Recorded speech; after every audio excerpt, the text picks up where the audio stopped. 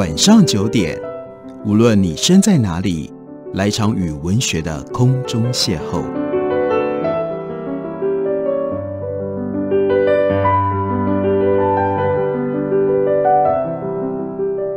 杨照谈书，邀您一同遨游文学世界，认识古今中外的经典之作。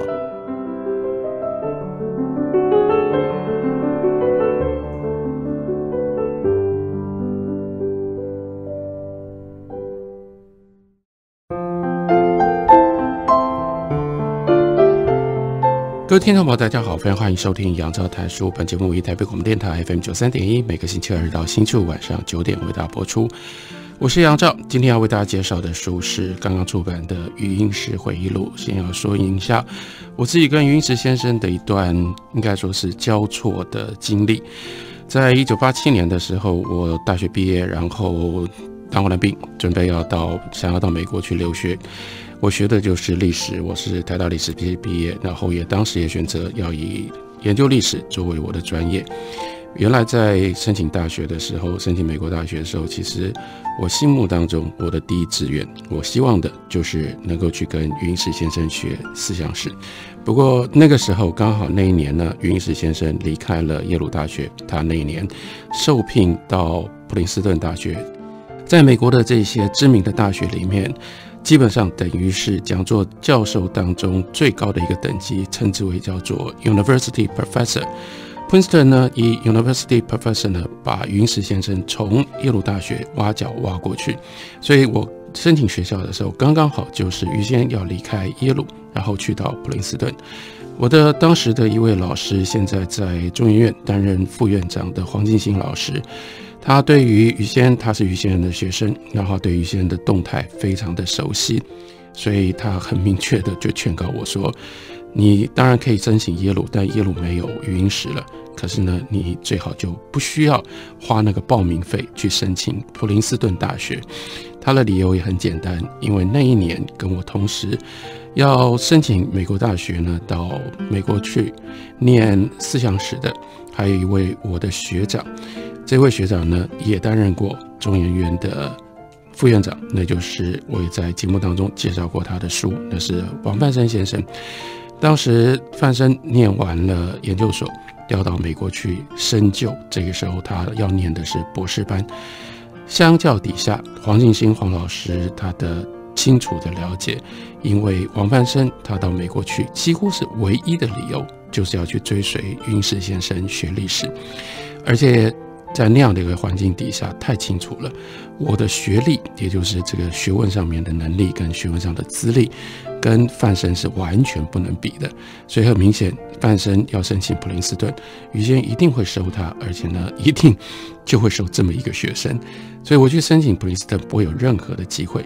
也就是在这样的一个情形底下，然后呢，我就放弃了。普林斯顿，然后也才在这样的一个情形底下跟于先失之交臂。后来呢，我就去了哈佛大学，追随着杜维明先生，然后走了完全不太一样的一条学术的路线。不过我仍然必须说，虽然没有亲自。于先，我还是把于先当作是我的老师，因为在思想史的研究的理路上面，什么叫做思想史，以及为什么会对思想史产生这么高度的兴趣，乃至于后来一路上面把所有的一切追究于人的思想，用人的思想的根本来理解人跟社会以及所有一切的现象。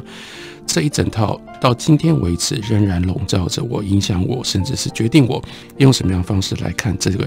世界的眼光。其实，在相当一大部分上，是来自于我对于当年年轻的时候阅读云石先生的书所建立下来的一些基本的价值跟基本的观念。所以，从这种角度，从这样的一个过去的资历。我来读于先余英时先生的回忆录，会有很多不太一样的感触。例如说，我会感觉到很清楚的，余英时的回忆录并不是我们一般想象当中的回忆录，因为他在回忆录里面，他写了很多是他自己思想的来历。例如说，我从他的回忆录里面就可以再往上追溯，因为云石交代了他影响我的这种思想史的领域跟范围，还有眼光是从哪里来的。他提到了他当年在哈佛大学的时候，他遇到的一位教授。当然，这位教授等到我去哈佛的时候，他已经早就退休了。不过我在大学时候也读过他的书，也读过了《云石回忆录》里面提到他的这个《Idea Man》这本重要的书。这个大教授呢叫做 Cran Brinton，所以云石他在回忆录里面就讲到，他因为读 Cran Brinton 的书，然后呢因为上 Cran Brinton 的课，所以特别被。Brinton 他的一个重要的一个概念给感动、给冲击，就是讲到人的思想分成上下两种不同的层次。一种层次呢，那是哲学的，或者是有意识的，或者是有系统的一种思想思考，那是属于专业的人士，或者是属于知识分子的。但是思想不只有这种叫做高等的思想，或者是完整有系统的思想。一般的人在他自己的日常生活里面，也必然要有思想。我们每个人脑袋后面一定要有一些基本的原理原则，才能够规范决定我们要用什么样方式来行为，要用什么样方式来选择我们的人生。所以每一个人。另外有一个层次是在生活层次或常识层次的思想，而这两个层次的思想呢，他们彼此之间会有非常复杂而且非常有趣的互动，所以就是关于人的思想的研究，才从一般过去的传统史学里面的其中的一个非常重要的一支，那是哲学史，才扩中变成了广义的思想史，因此思想史。其中的一个关键的应该要做的事情，就是去联络或者去解释这个上面的这一层有系统的思想跟底下的常识日常的思想，在同一个社会或在同一个时代当中，他们究竟发生了什么样的互动关系？也从这个角度，我可以这样看到，《云石回忆录》基本上是背后仍然有云石。他的思想史的背景以及他思想史的路数，换句话说，读《云石回忆录》，我们可以感觉到，可以用这个角度来看，这基本上是云石用思想史的研究方法来交代、来呈现自己。所以他的回忆录大部分都在讲叫做云石的这个人。他的思想是如何形成的？一一的把他的思想形成的过程一步一步的交代出来。换句话说，这等于是对于云石一部思想史的解释。当然，这部《云石回忆录》如果严格来说的话，对于出版上面，云城出版公司有一点点小小的维持，因为会造成读者的混淆，因为它应该称之为叫《云石回忆录》的第一部，《云石回忆录》这本。到书结束的时候，云石才写到，他刚到了哈佛，在哈佛进了博士班，甚至还没有拿到博士学位。当然，这一段过程对于他的思想的形成已经非常的重要，而且非常的清楚，非常的明白。不过很显然，如果是以回忆录对于一生的回忆，那么云石先生他出生于一九三零年，到今天他八十八岁，这八十八岁的生命当中有太多的事情应该要被写进到回忆录里面，没有道理在他的回忆录只写到一九六零年，也就是不过他到目前为止几乎只有三分之一的生命，三十岁的时候左右。如果我们从思想史的这个角度来看云石的话，我想对于于先稍微有点认识跟理解的人，留下最深刻的印象，包括当时在香港的雨伞革命的过程当中，于先曾经非常受到重视的一些发言，大家可能清楚的了解，或者是有印象的是，他非常坚持的反共的立场，这种反共的立场到今天。在所有的，不管是他这一辈，或者是他后辈的，在留美的这些学人当中，实在太特别，或者是说太固执了。于先他是在一九五零年，也就是他二十岁的那年，他当时回忆录里面写的很清楚，他当时本来是在做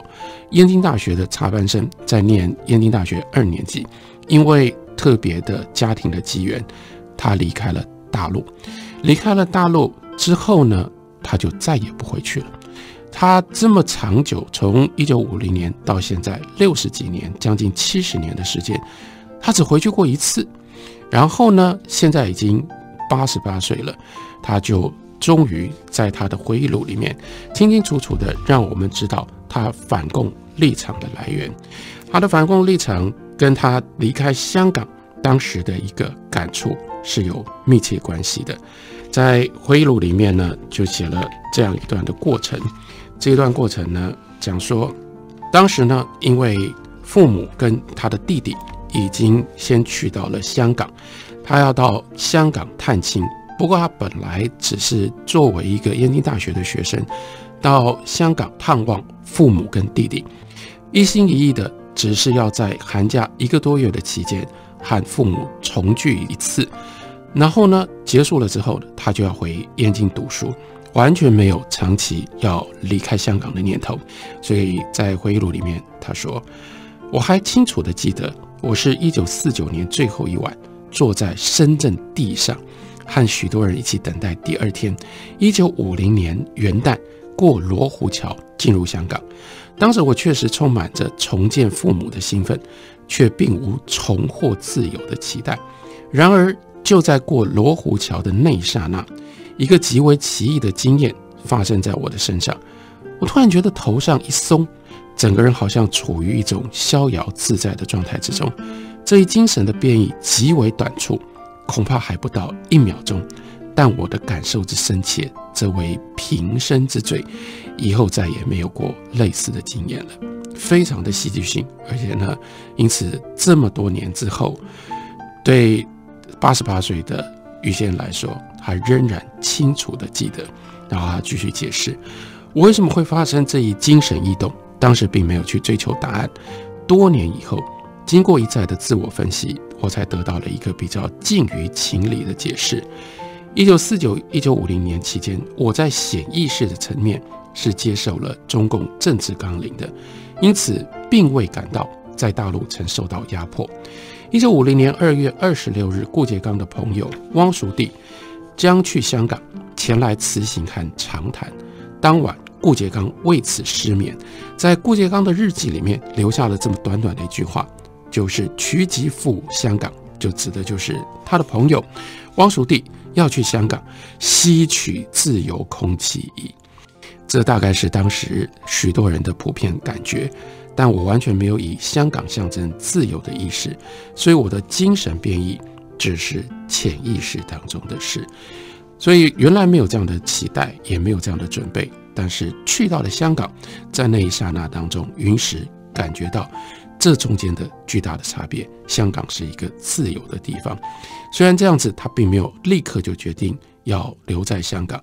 在留在香港中间还要再经过另外一次戏剧性的变化。这戏剧性的变化是什么呢？也是写在云石回忆录上面。休息一会儿。回来告诉大家。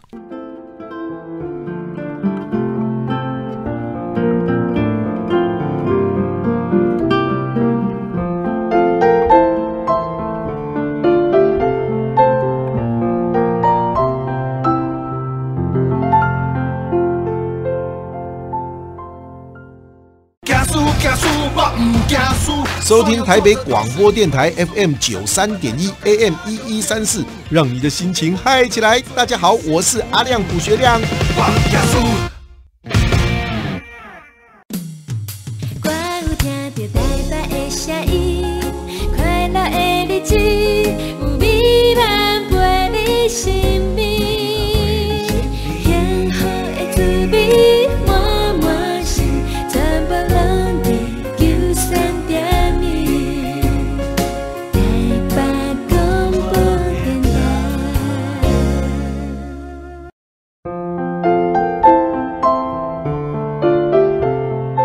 感谢您继续收听《杨照谈书》。本节目于台北广播电台 FM 九三点一，每个星期二到星期五晚上九点为大家播出到九点半。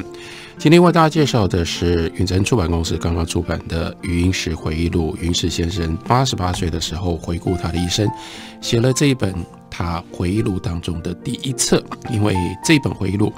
写完的时候呢，只有在一九六零年，他三十岁左右。他把他从出生到三十岁这一段过程当中，影响他的思想的许多的著作跟许多的事情，写在这本书里面。对他来讲，很重要的一个关键人生的大事，是一九五零年，原来在燕京大学念书，他却离开了北京，然后呢，去到了香港。从此之后，他就再也没有回到中国大陆去。在那个过程当中，他就解释了，本来他是要到香港去探亲，去探望父母跟弟弟，本来只想要留一个多月，但是到了那里之后呢，爸爸努力的，因为想办法有很多其他的事情需要他处理，把他留在香港半年。可是呢，半年结束了之后，他仍然心里面是要回到中国去的。在回忆录里面，他非常清楚的这样说。在理智层次，我始终不能接受香港这个殖民地可以成为我长期居留之地。我当时一心一意以为，只有中国本土才是我安身立命的所在，而学术研究则是我最向往的人生道路。总之，我的生命只能和中国本土打成一片，是我早年无可动摇的一大信念。这真的是血泪写下来的话，因为我们看到。之后，从一九五零年离开了之后，他本来生命当中认定的一定只能够跟中国本土打成一片，他却将近七十年的时间没有在中国大陆生存。他离开中国大陆，而且再也不能回去，后来再也不愿意回去。可是回到一九五零年的时候，这个时候的云石，他的信念，生命是只能够跟中国本土打成一片。在此信念驱使之下。我终于狠下心肠，独自坐上去广州的火车。他要回广州，然后再从广州回到北京去。然而，一个完全意想不到的事件发生了。我的香港火车本来和广州北上的火车是连接的，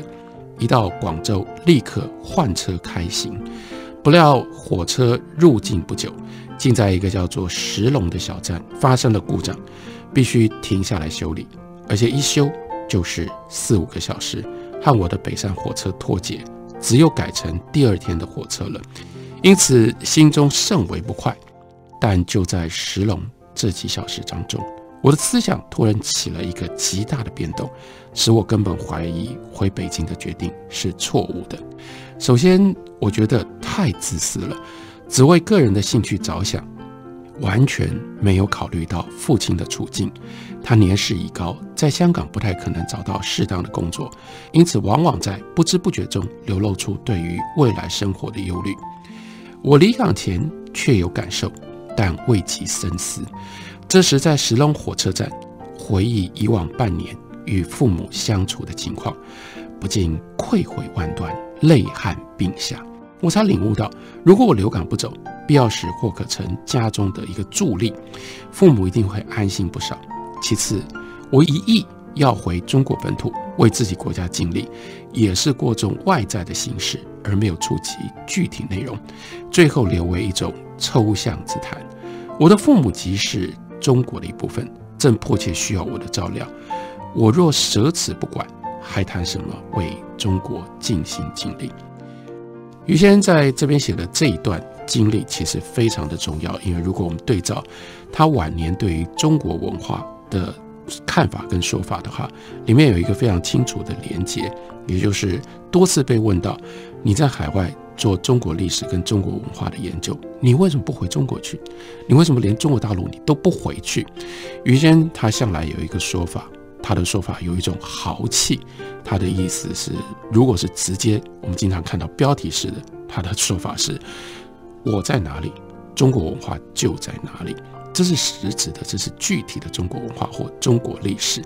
不过，我们从这一段回忆录，我们大概可以有一个更细腻的了解，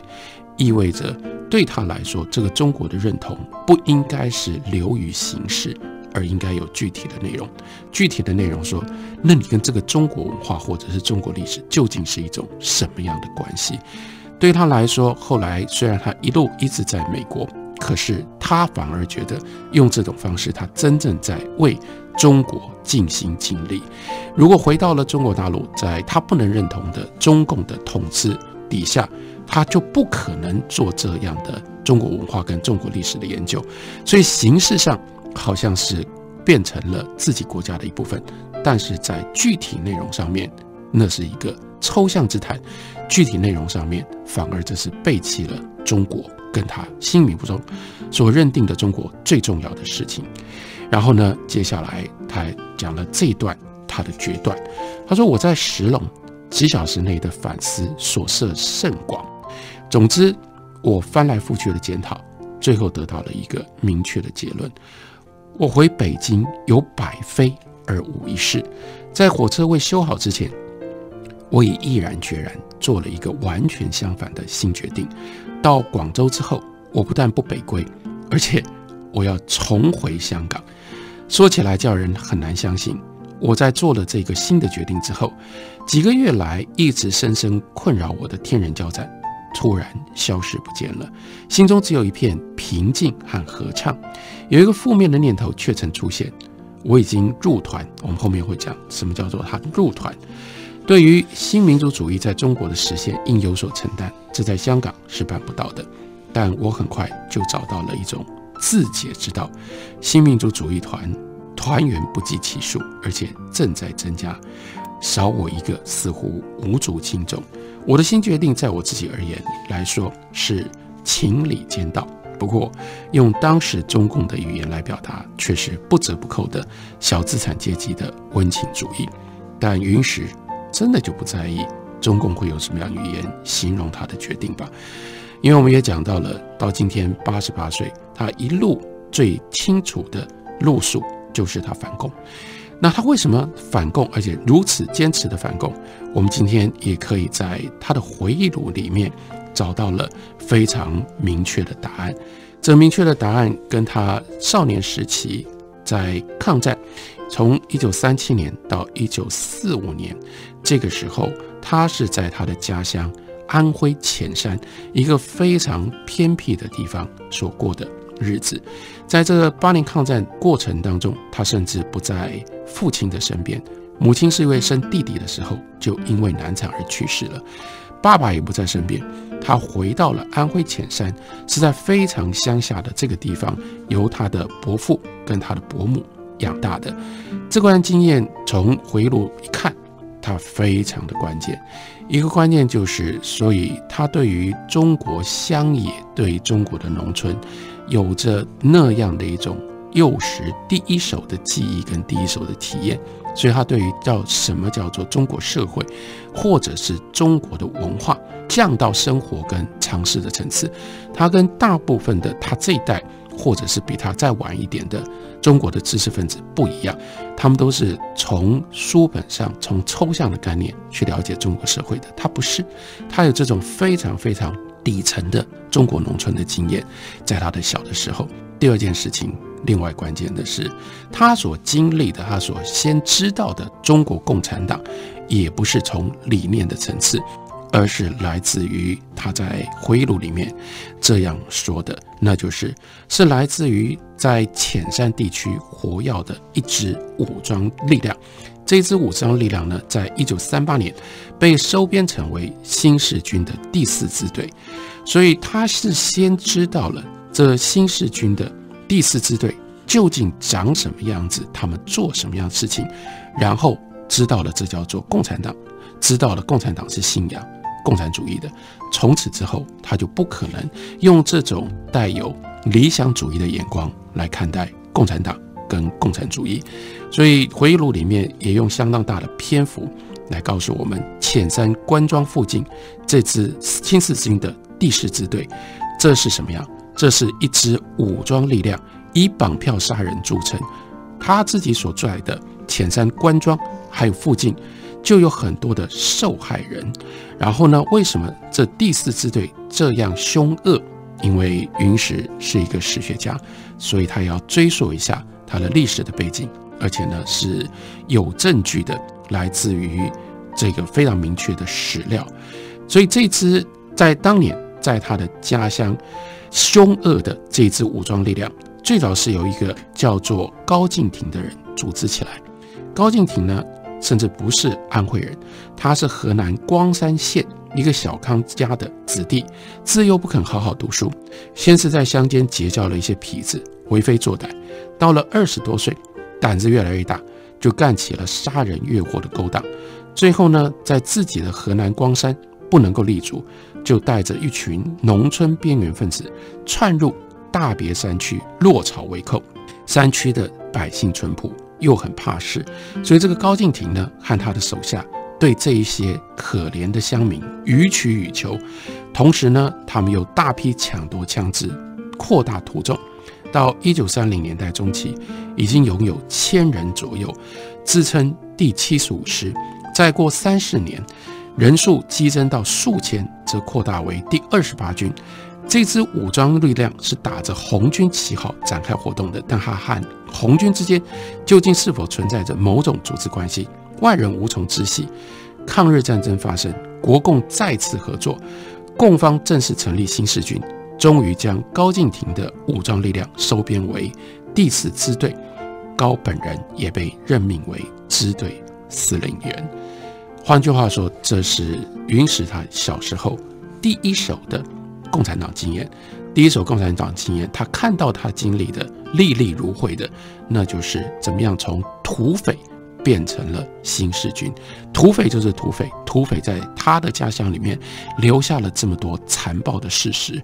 这个土匪变成了新四军，不可能改变他土匪的本性，只会让曾经被高敬亭跟他的力量伤害过的这群人。再也不相信什么叫做共产主义或者是共产党的理想，这是云石反共非常非常早的他的思想的根源。